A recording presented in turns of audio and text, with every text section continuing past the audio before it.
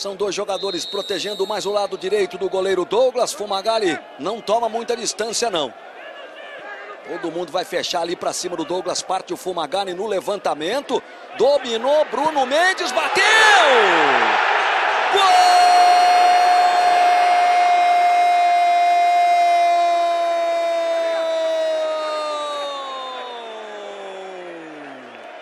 É de Bruno Mendes, é do Guarani, com 28 minutos do primeiro tempo.